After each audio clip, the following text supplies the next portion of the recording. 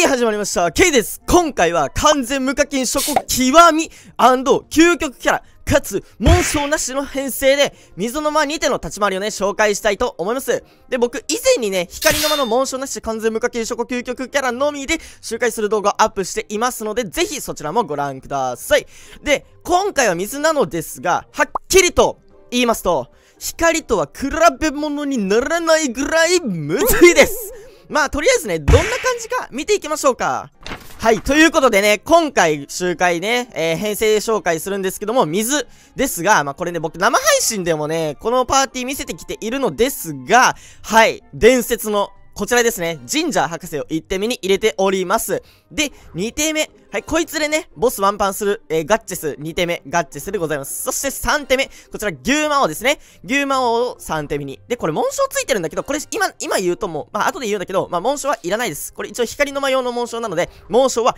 水は一切いらないです。で、えー、これ4手目ですね。もちろん、自由枠はあります。はい、自由枠ありの、えー、2手編成になります。ではね、とりあえず、どんな感じかね、やるだけやってみましょう。行きましょう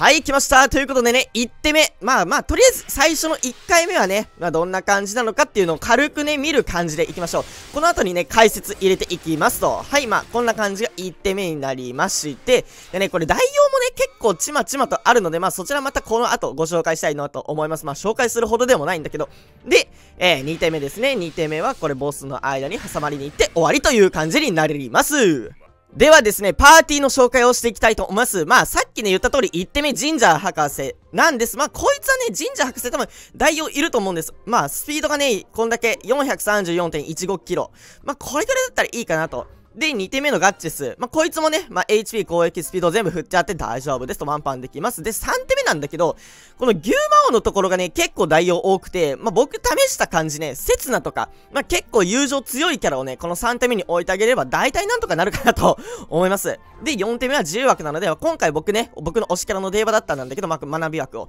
置いてあげるといいんじゃないかなと思うんですよ。で、これね、何がむずいかっていうと、まあ、さっき見てもらったらわかる通り、2手目がめちゃんこむずい。2手目がね、クソむずいね。ガッチェスの位置によって毎回打つところ違うから、もう完全に感覚で打たないとダメなんですよ。で、あまりにもね、水の間僕むずいから、もうね、見てもらったらわかる通り、ガッチェスとかね、まあ、ジンジャー博士の使用回数が、まあ、1300回ということで、まあ、まだ全然ね、使ってないっていうことは、まあ、そういうことです。はい、水の間がね、あまりにもむずすぎる。うん、むずすぎるし、僕、水の間はね、全くやんないわけじゃないんですよ。のまい、あのね、のま2倍の時、まあ、水の間2倍の時は、あの、水の間回ってるんですけども、まあ、当倍の時はね、僕絶対ね、前紹介したこの光属性のね、光の間の編成で光の間やってるんですけども、まあ、ちょっと立ち回り、打ち方など、ちょっと見ていきましょうか。はい、ではですね、立ち回り、ちょっと細かく、まあ、細かく解説できるような難易度じゃないんだけど まあ、1手目はね、ちゃんと狙う場所が決まってて、この上のところに岩が3つあるんですね。1、2、3、ちょうど矢印の先にですね、この矢印3つあるんだけど、この矢印の右下の、このや、ね、この右下のこの岩のところに矢印を合わせてあげる神社博士。で、そうするとガッチスに当たる上行って、下戻ってきて、ちょうど牛魔王に当たって、と。牛魔王ってめちゃくちゃ優秀だよね。光の間の1手目でも使えるしね。うん、びっくりした。牛魔王、もしかして水の間で使えんじゃね？と思ったらもう、案の定ね、水のでも、水の間でもね、牛魔王はまると。で、問題のね、この2手目。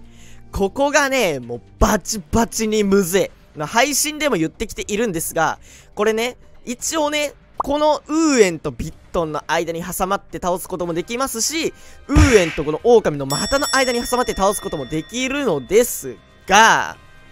まあ、一番簡単に倒せるのは、正直、このビットンとウーエンの間に挟まりに行く。これがね、一番安定はする。ただし、まあ、安定ではない。挟まりに行くことに関しては安定する。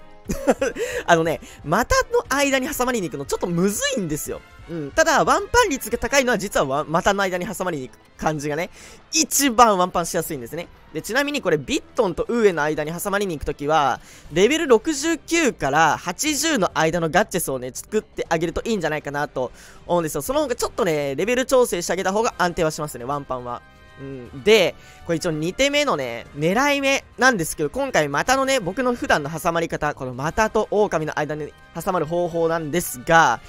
この柱が、この左の壁に氷のでかいちょっと極太のね、柱と、ちょっと細長い柱と、なんか氷の岩が、四角い岩がね、あるって、この3つね、氷の柱という岩というか、があるところがあるんですけども、これの下の、このね、四角の方の岩に、こんな感じで矢印を添えてあげる。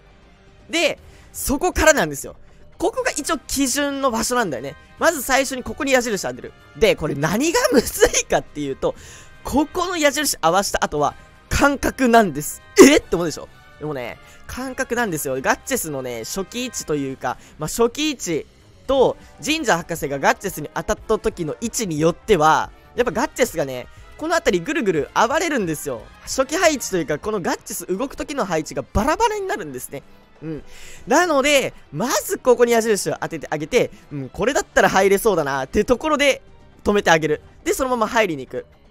で、場合によっては、このね、何言えばいいんだろうな、この雪があるところあるじゃん、ここに。このね、柱、さっき言った柱の下に雪があるじゃん。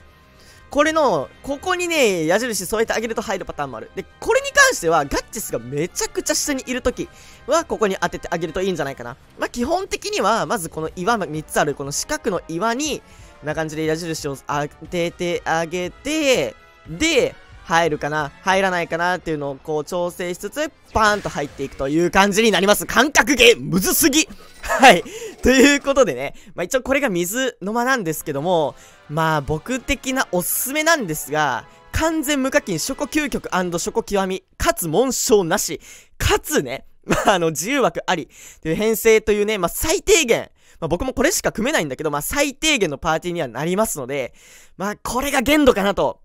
思うんですよ。確かにダウトでね、ワンパンしたりとか、アンフェアとか使えるパターンもあるらしいんだけど、まあ、始めてすぐの方はね、まあ、これが限度なのじゃないかなと思うんですよね。